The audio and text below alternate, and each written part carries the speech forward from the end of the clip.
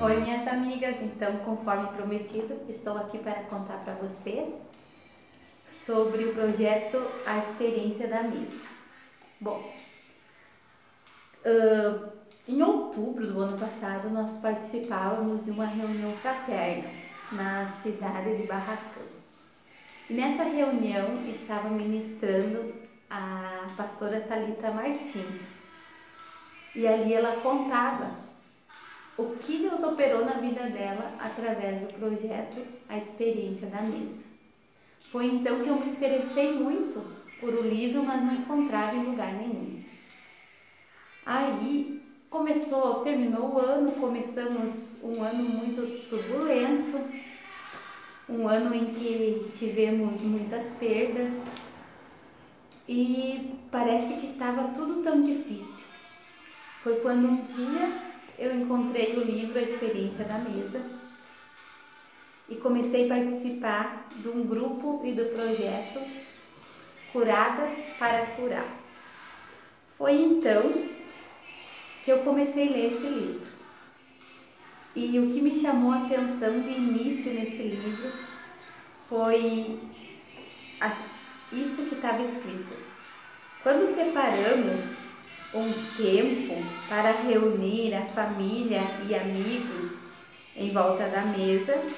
A presença de Deus nos encontra ali, é capaz dele operar dentro de corações humanos o que nós não somos capazes.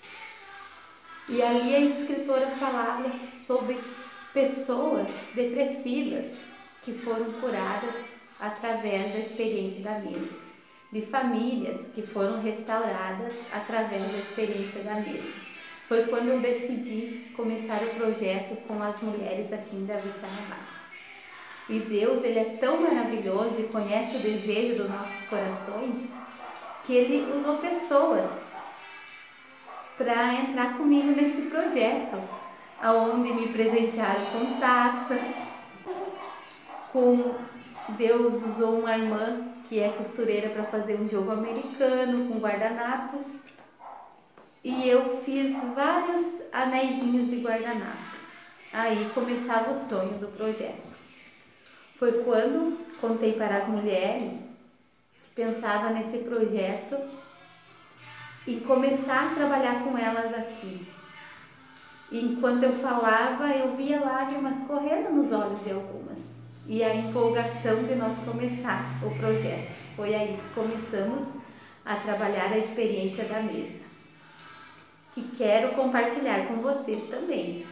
Então, esse grupo eu vou passar dicas e vou passar textos, vou louvores referente à experiência da mesa.